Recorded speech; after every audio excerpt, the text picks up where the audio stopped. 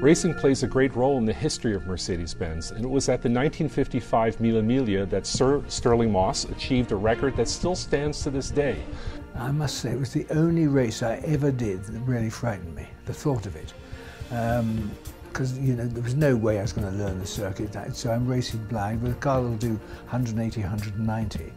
And uh, that, that's, so when you go up on the ramp like that, as soon as the flag fell, no, no worries at all. Equally important, though, in that very same year, John Fitch finished fifth overall in a production class 300 SL that is little different than the car that we have in front of us. John Fitch's 300 SL was one of the first production cars of the 198 series, arriving just two days before the 1955 Mille Miglia. He was the only non privateer 300 SL driver, race team leader Alfred Neubauer hired Fitch to ensure that Mercedes Benz had a respectable finish. Fitch and his navigator, Kurt Gessl, practiced the course in a 43 horsepower 180 diesel. Kurt was impressed by the speed, thinking that Fitch couldn't possibly have driven any faster. Fitch's thought at the time was this will be a rude awakening for Kurt in the 300 SL.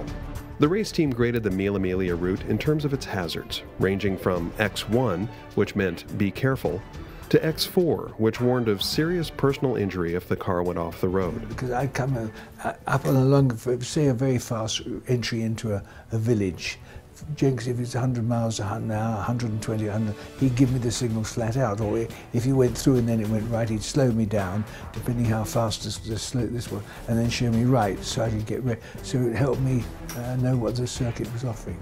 Sir Stirling Moss won the race at an average speed of 95 miles per hour. Fitch, reaching an impressive 150 miles per hour at 6,000 RPM on certain stretches, won the GT class, finishing fifth overall. The production class 300 SL was based off of the Series 194 race car. That race car was extremely successful for the 1952 season. It was based on that success that Daimler-Benz decided to produce a production version of the car, the W198. One of the most notable attributes of this car is the iconic gull-wing doors. Not merely a stylistic consideration, they actually did serve a purpose. Because the car had a tube frame chassis, a conventional door was not possible. The 300 SL was also the first car to employ direct fuel injection, a feature quite ahead of its time.